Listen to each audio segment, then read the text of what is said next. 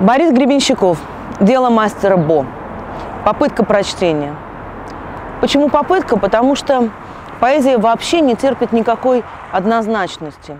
Каждый читатель воспринимает то или иное стихотворение действительно по-своему, в зависимости от своего уровня образования, жизненного опыта, да в конце концов даже от настроения. Особенно это становится заметным в поэзии XX века. И Ахматова написала строчки, которые это все объясняют. И может быть, поэзия – одна великолепная цитата. Цитаты иногда бывают скрытые, без кавычек, неявные. Тогда они называются реминисценциями. И текст становится интертекстуальным, внутрь, все дальше и дальше. Мы попытаемся сегодня пробраться через текст Гребенщикова – и понять, о чем он, потому что с первого раза не ясно, что здесь происходит, о чем говорит поэт. Продолжая слова Ахматовой, и так как мне бумаги не хватило, я на твоем пишу черновике, и вот чужое слово проступает. Если мы попробуем увидеть, найти и понять эти чужие слова, тогда нам откроется и основной текст Бориса Гребенщикова. Она открывает окно. Под снегом не видно крыш. Она говорит, ты помнишь, ты думал, что мир состоит из молекул. Ответа на этот вопрос не будет. Видимо, наш герой уже понял, что не все можно разложить на молекулы, на атомы, что что-то есть в этом мире непонятное, непостижимое и то, что нельзя измерить и попытаемся понять, что же это такое. Дракон приземлился на поле, поздно считать, что ты спишь. Откуда дракон в русской поэзии? Для того, чтобы это понять, может быть, это и есть то самое чужое слово, та самая скрытая цитата, откроем книгу «Перемен», древнекитайскую философию. Китайцы считали, что жизнь человека можно разделить на какие-то отдельные этапы пути, и каждый этап будет описан условной гексограммой.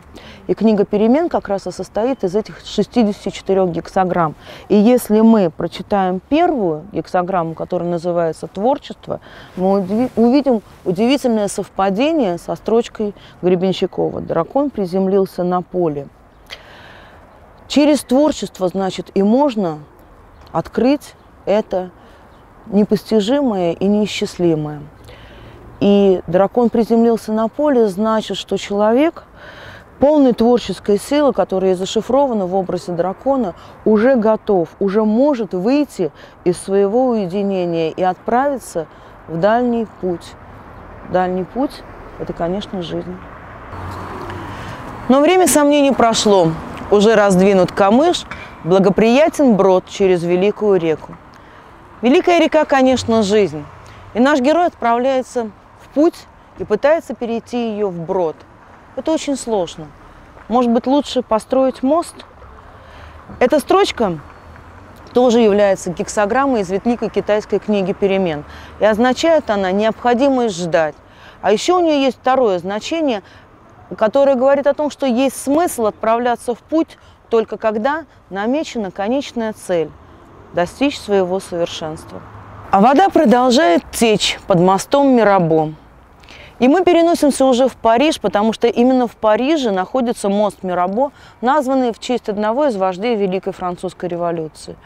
Но не только в реальный Париж, но и в Париж поэтический, потому что так называется одно из самых известных стихотворений Гийома Аполлинера – Стихотворение, где появляется мотив реки, которая уносит любовь лирического героя.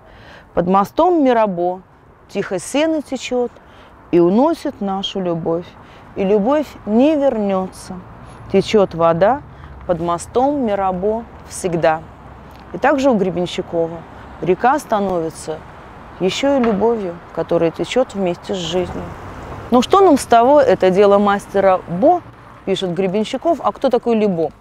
Это известный китайский философ XVIII века, который, как говорили сами китайцы, достиг совершенства, достиг гармонии с самим собой и с миром. Это то, к чему и будет стремиться наш герой через любовь, через мосты, переброшенные, через жизнь, к этому совершенству. Мы достигли середины моста. Ты лежишь в своей ванной, как среднее между Маратом и Архимедом. Что связывает эти два имени? Одного в ванной настигла смерть, и это был Марат. Другой в ванной сделал свое главное открытие и закричал Эврика. Это был Архимед. С одной стороны, это легенда, с другой стороны, это интересная мысль, что жизнь – это как мост между жизнью и смертью, между истиной и концом. Когда мы идем по мосту жизни, мы делаем свои маленькие открытия, достигаем каких-то своих истин. А что делать с ними? Может быть, оставить их заветом для других людей? И пусть съедят нашу плоть, как хлеб, и выпьют кровь, как вино. Мы будем продолжать идти дальше в поисках истины, в поисках любви.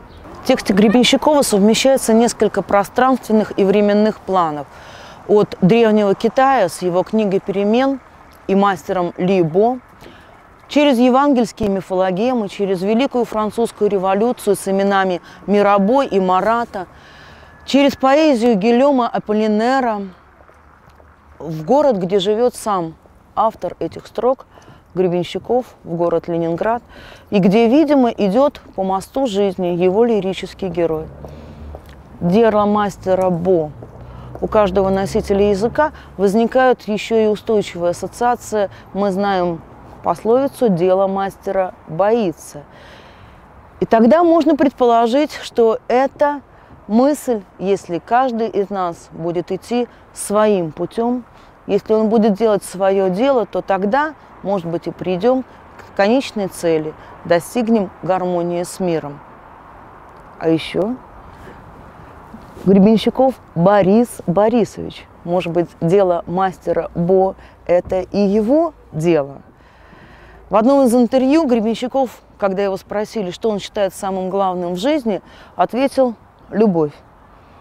Может быть, этим своим текстом он и пытается построить мост между любовью и нелюбовью и прийти, конечно, к любви.